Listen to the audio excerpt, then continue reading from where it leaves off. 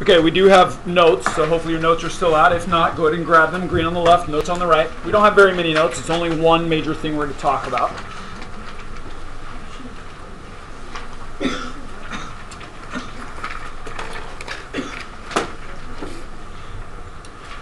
Okay, last week we talked, and it was kind of the start of this whole chapter. We talked about um, we talked about compound events, and compound events required us, uh, in some ways, to um,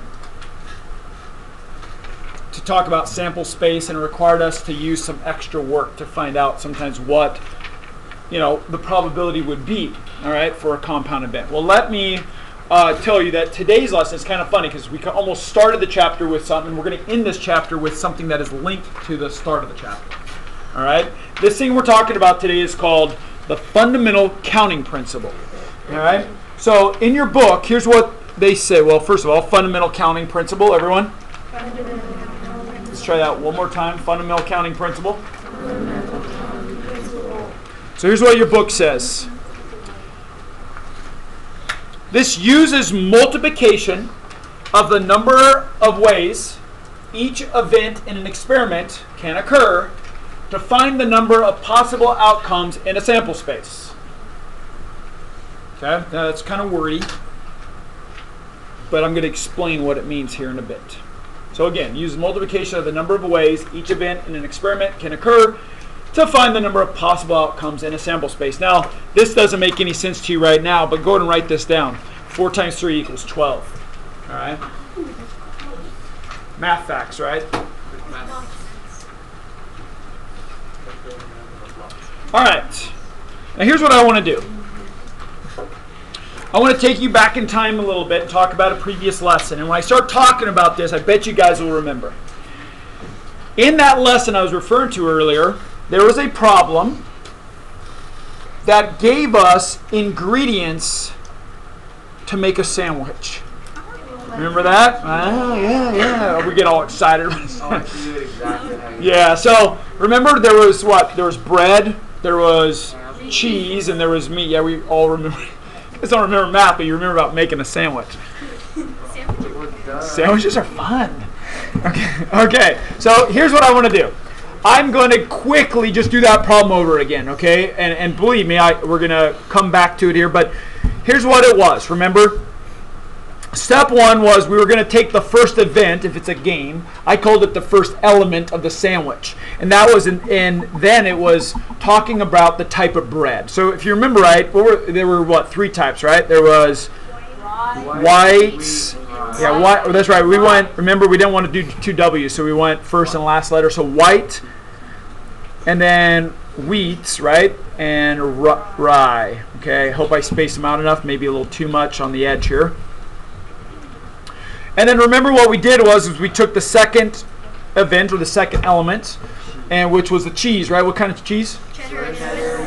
You guys are ex- experts at this. You kidding me? You got great memories.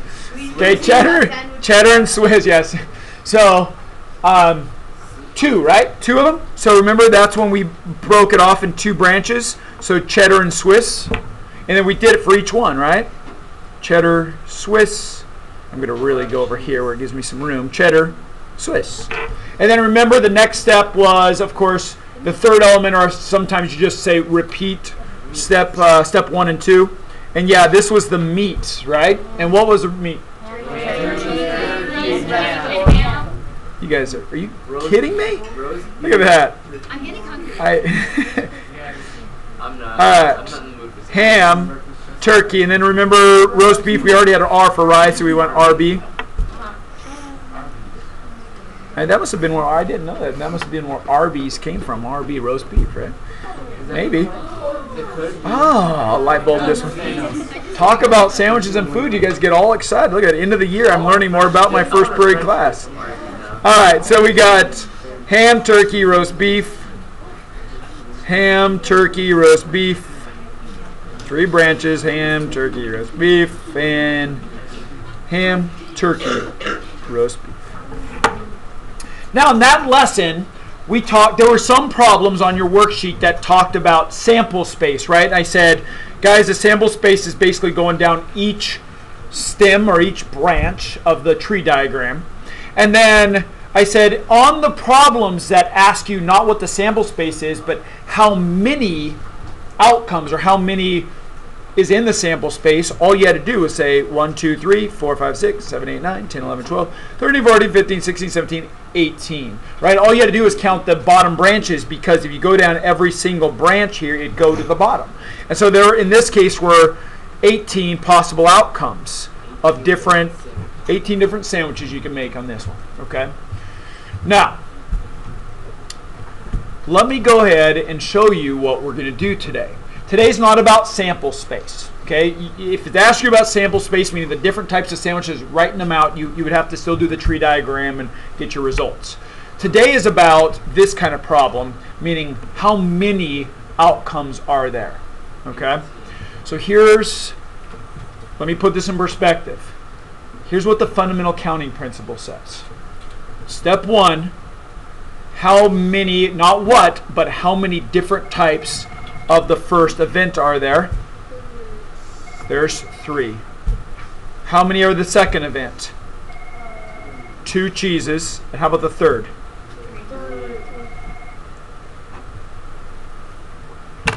Take a look at that. See if you can find something out.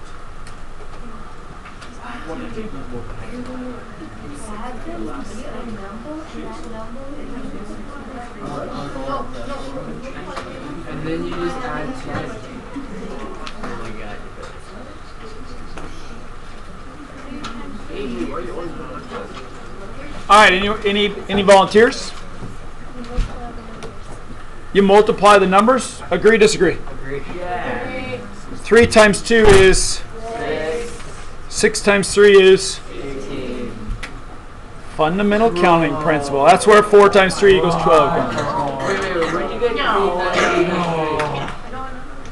Three time three breads Okay. Uh, times two, right? And that six is the number of, of course, if you were only making like a cheese melt, right? We talked about during that lesson, six total cheese melts. But then you add the three different types. Well, you have six different types of cheese melts. But if you add three different types of meat to each of those, that's what gives you the 18. So that's why the fundamental counting principle works. Let's do a couple of problems off your homework. Okay.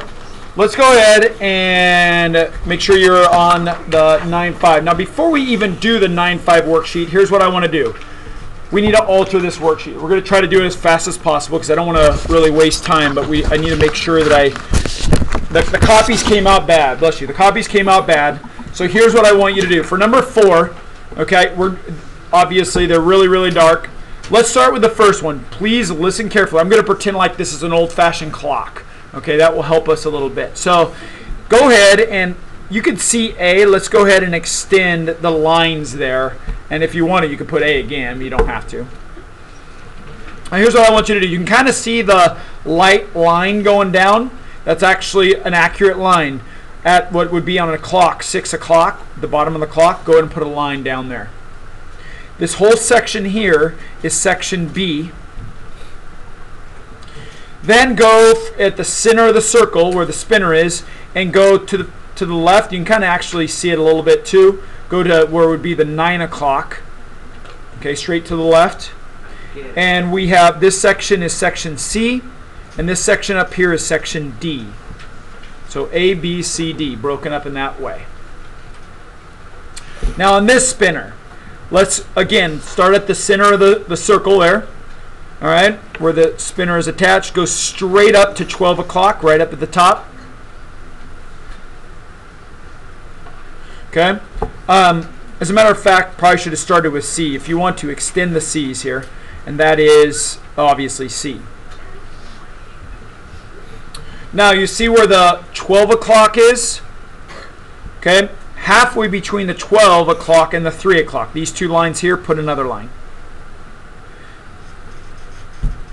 As a matter of fact, you can kind of see this lighter section of the pie here, for example, the spinner. Just go ahead and make a straight line extending just like that. So here's what we have. At 12 o'clock, if you go to the right, it's section A. You go to the next section, that's section B. Then we have section C. This next section we already created was section D. And then here's what I want you to do. You can kind of see this extend at 9 o'clock here. So you can see that little lighter piece of pie there. Extend that. This section right here after D is section E. And then this section up here is section F.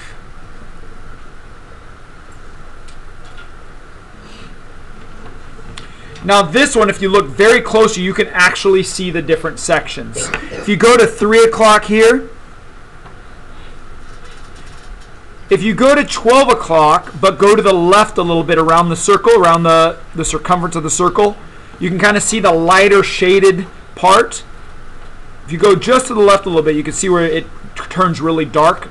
Section that off like that. This section here is section A, this big section. Now we can see where the letter C is. So extend that, obviously that's C. Between this big section between A and C is B. And the big section on this side from C all the way up to the, where A starts, that is section D. All right. So I want to make sure I go over that with you before I give you your homework to do. All right. Sorry about the bad uh, copies. Copy machine just came out that way. All right. Let's get back. Let's get back to the focus of the fundamental counting principle. All right. So here's what I want us to do. All right. Let's on this side. Let's take a look at uh, number seven. Let's check out number seven.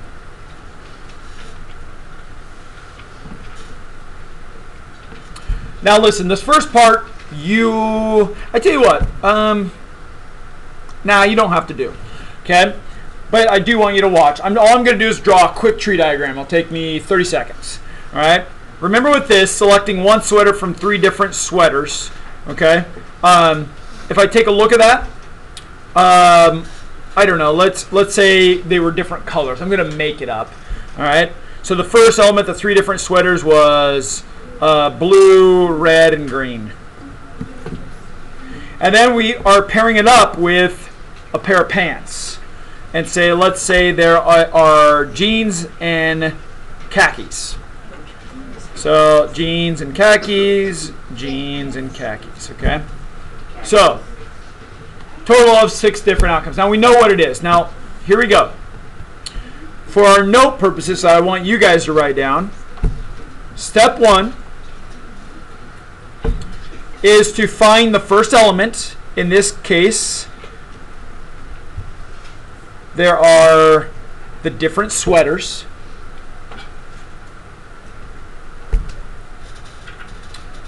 Find out, of course, how many different types there are.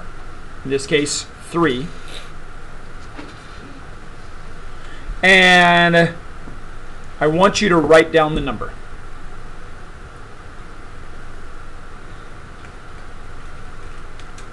Step two, go to the next type of event or element. In this case, they're the different pairs of pens. Of course, find out how many there are. There are two. And I want you to write down that number.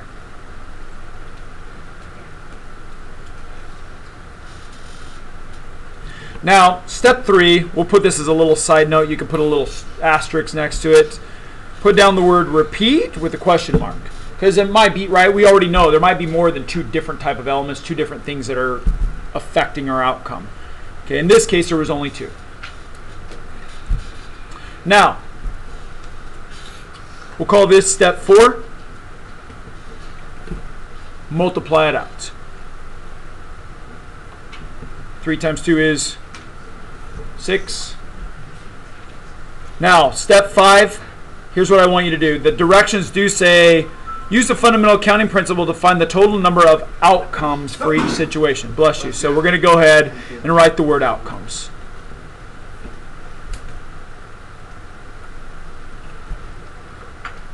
Now let me go ahead and simplify this because all of you guys, oh, that's a lot of work for something so simple. Here, in the end, here's the only work you need to show because most of this is finding and mental math. The only work you need to show is that. I want, listen, this is very important. I want you to show me the math problem because I want to make sure that you understand where, I want to make sure that you're getting the correct numbers, okay, from the problem. And I do want you to make sure you put your units on there. So 3 times 2 equals 6 outcomes. That's all you have to do. The rest is just mental math, just reading it and understanding it and writing it down. Okay? Any questions about this? Okay, here's one I want you guys to try. I want you to try the very next one, problem 8. Problem 8. All right, go.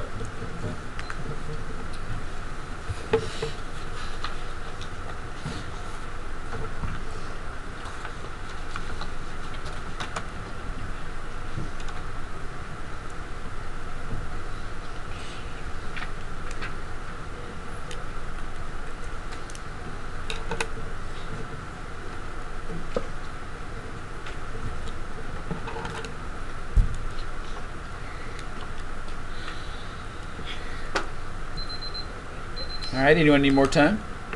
Okay, I'll give you a few more seconds, then I'm going to have you guys share.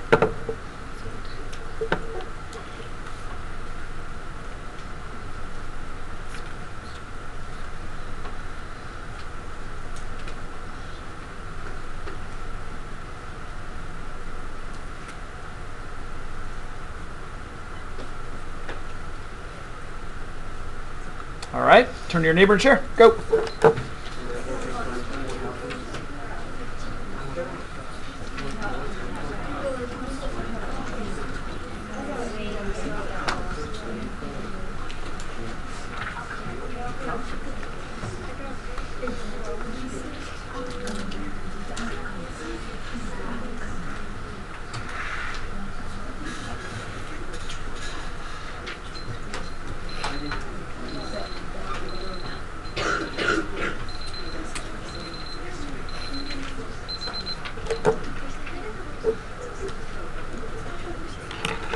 Okay, here we go. So if I go through the steps, step one, find our first element. Well, different types of fruit. How many are there? There's four. I'm going to go and write it down. What's our next element? Uh, drinks. How many are there? Five. I don't see any others, so we're done. 4 times 5 equals 20 outcomes. All right, questions? Okay, I want to do one more one more type of problem, um, and it's just it, it's pretty easy. It's just a little bit of an extension here, and that is let's take a look at problem number three. So same idea, same directions. It says tossing a quarter, rolling a number cube, and tossing a dime. Now here's the I'm going to go through the steps. Here's the only difference. Okay. First, in this case, it is an event, not an element, but an event. We're actually playing a game. So the first event is tossing a quarter. Remember how many are there? Well, that means how many outcomes from tossing a quarter. We actually have to do a little extra thinking. So how many outcomes from tossing a quarter? Two. Yeah, two. You see that? The second event is rolling a number cube. So I say how many different outcomes from rolling a number cube? Six. And then there is a third one on this one. We repeat it. Tossing a dime, again, two. We multiply them out. 2 times 6 is 12. 12 times 2. 24. Don't forget our word outcomes. So same idea. Write your problem out. Make sure you have outcomes, but the only difference is you have to actually do a little extra thinking while you're writing them down. Because it's not saying exactly how many there are. Okay, I'm going to have you guys try one similar to that. Any questions? Okay, here's the one I want you guys to do. Problem number six. Number six. Go.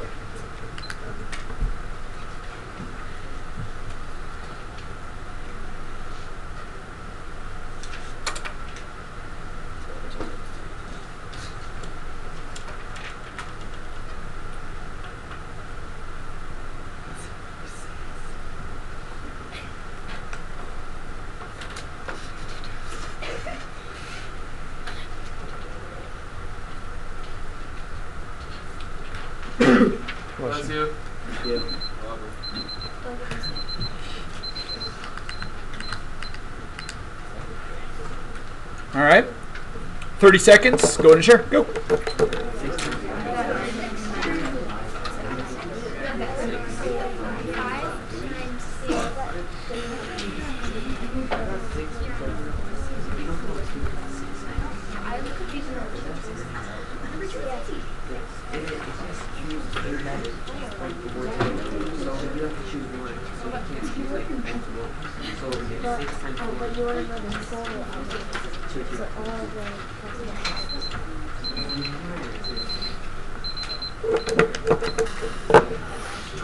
All right, here we go.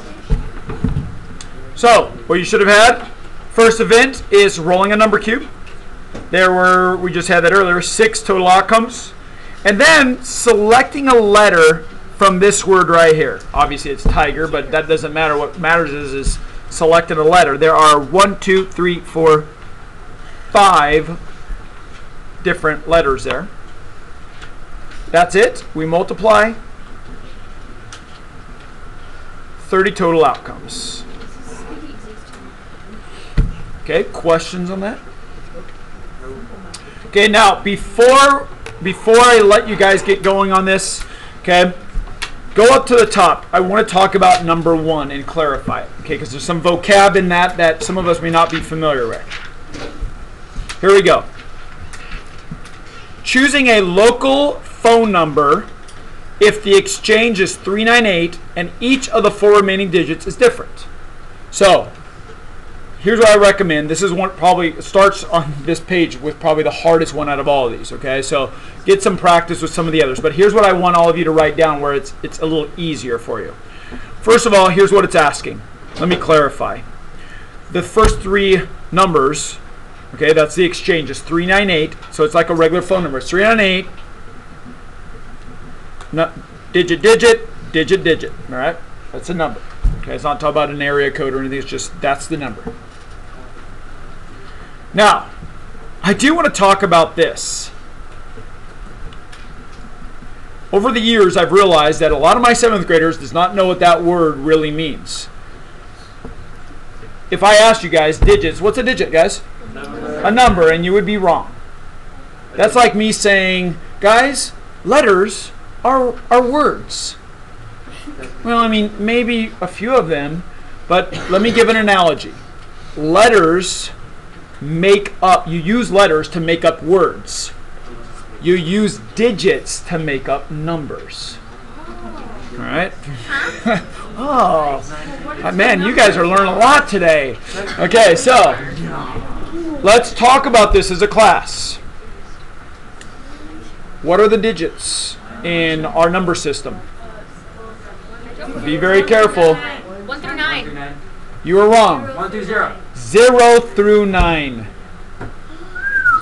The number 10, what which digit is that? 1 and 0. I kind of triggered it. It's two digits make up the number 10. And of course, two or more digits make up the rest of the numbers in our number system. Okay? So, and you say, well, but Mr. Wilkins, that's a digit, but that's a number. Well, yes. And that is a letter and that's a that's a word, right? Same kind of idea. Oh, All right. So yeah, some numbers are are some digits are numbers, but also some letters are words. Okay. So there are the exceptions, right? But I mean, for the most part, letters make up words, digits make up numbers. Okay. Now I do also want to point out that this last part here, read that carefully because that will affect your total outcome. So be very careful with that. Okay. All right. Yes. Good job. It is different. All right. All right. Fundamental counting principle.